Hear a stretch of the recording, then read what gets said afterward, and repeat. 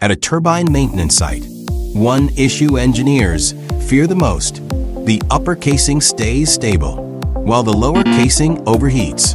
When the temperature difference exceeds 45 degrees Celsius, bearing loads increase, efficiency drops, and metal fatigue cracks can start to appear.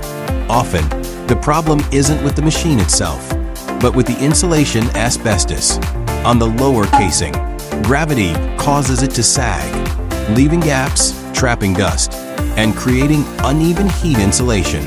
Now, more projects are replacing asbestos with water-based nano-insulation and anti-corrosion coatings, built with glass and ceramic hollow microspheres. A 5mm layer can sharply reduce surface temperature while providing both thermal and corrosion protection. No wrapping, no dust, no delamination. A lighter, safer approach to thermal management for turbines. Follow me to learn more anti-corrosion tips.